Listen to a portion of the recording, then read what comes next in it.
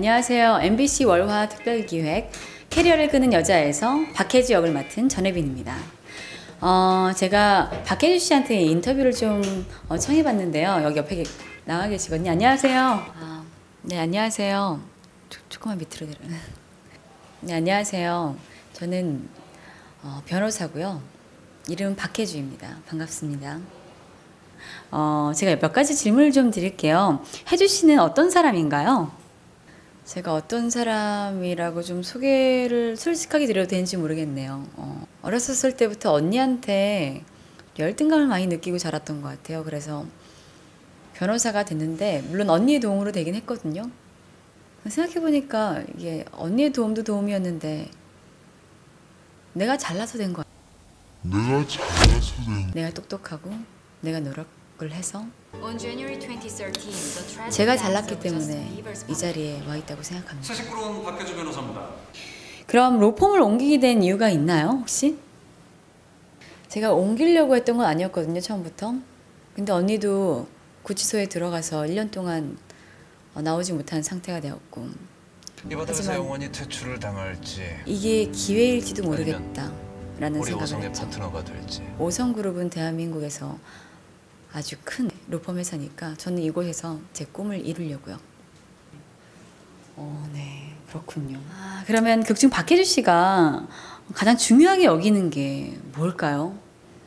뭐 예를 들어서 일도 있을 거고 사랑도 있을 거고 뭐 성공 뭐 이런 것도 여러 가지가 있잖아요. 어떤 것들이 글쎄요. 내 것을 가지는 것 마음에 들면 그런 것 같아요. 그냥 입으시고 어, 그리고 늘 저는 그 언니의 씨가 그림자에? 가려져서 언제 지냈던 언니하고 한번 같이 시간이 봐요. 많았거든요.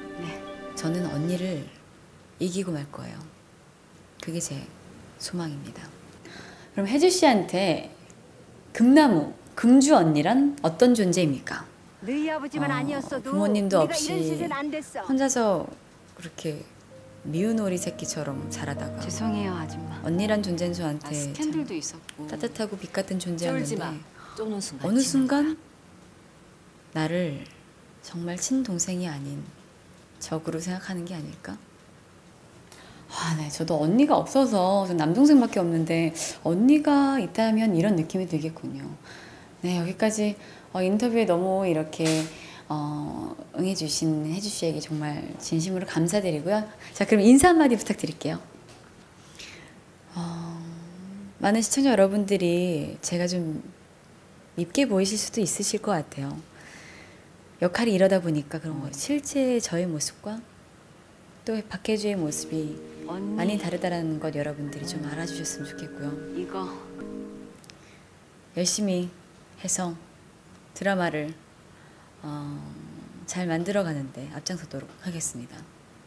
박혜주 화이팅! 앞으로 캐리어를 끊는 여자에서 어, 활약 지켜보겠습니다.